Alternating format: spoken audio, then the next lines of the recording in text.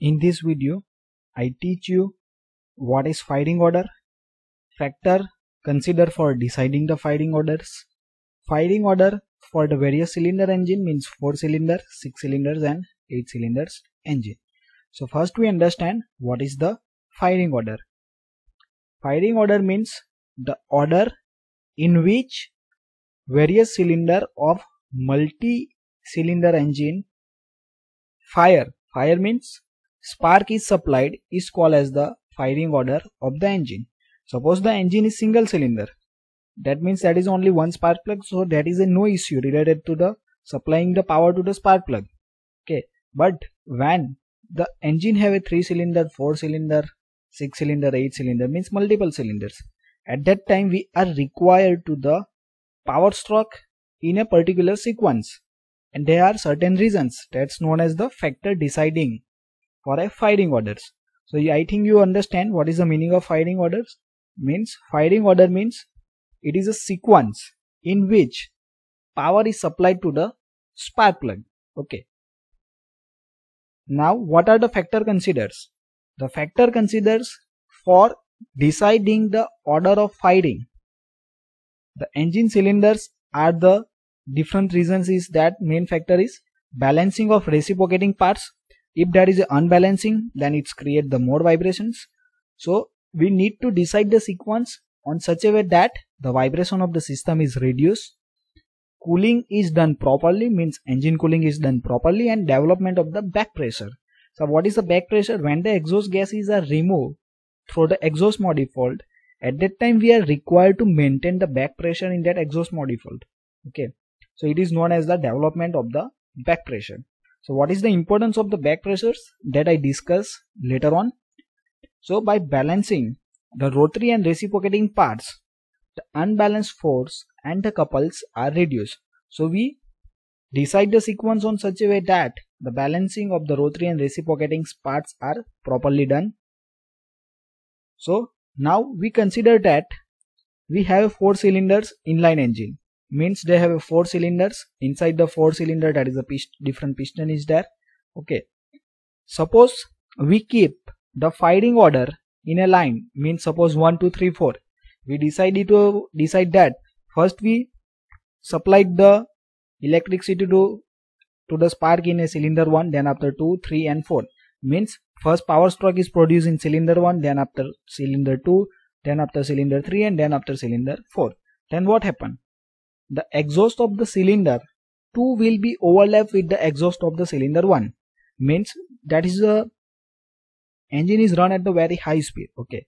So suppose exhaust of the cylinder 1 is going on at that time exhaust of the cylinder 2 is come and this create the overlap with the exhaust gases of the cylinder 1 so it will need the size of the exhaust pipe bigger in size otherwise the back pressure on the engine cylinder will increase and this reduce the net power or net work output. So net work output is reduced. If we supply the or we create the power stroke in 1 2 3 4 sequence. So what is the proper sequence? Thus the firing order of the engine is decided based on the above consideration. Means which are the consideration? That is a three consideration. First one is the balancing second is the engine cooling and third one is the development of the back pressure.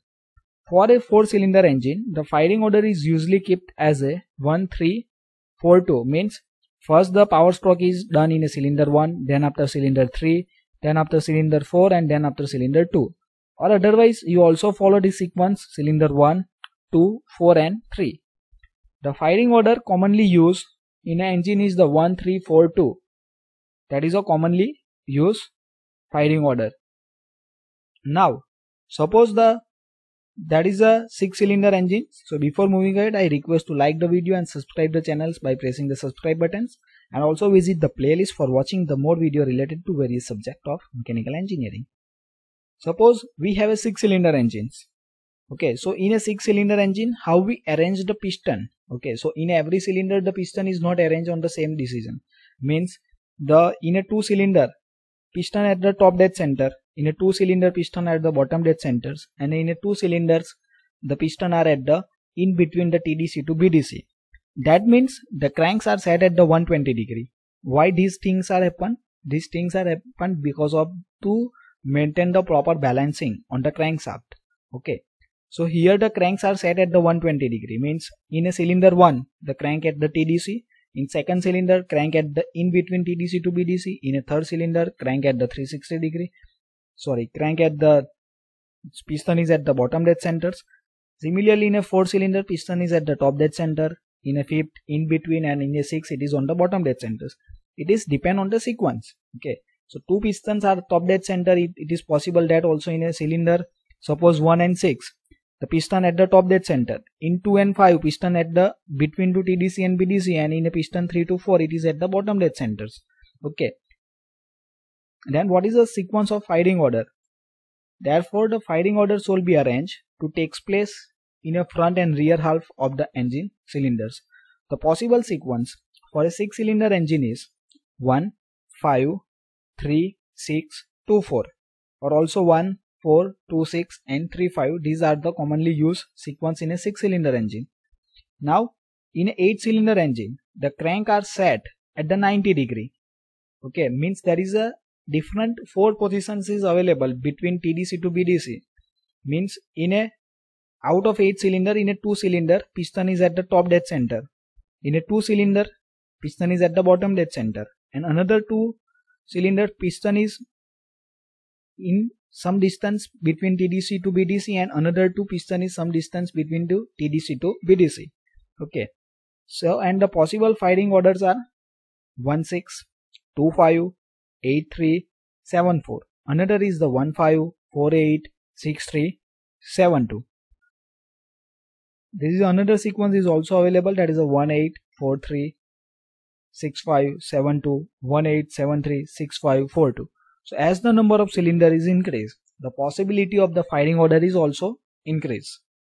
So thank you for watching this video. If you learn, then like the video, subscribe the channels, comment on the video and also share with your friend.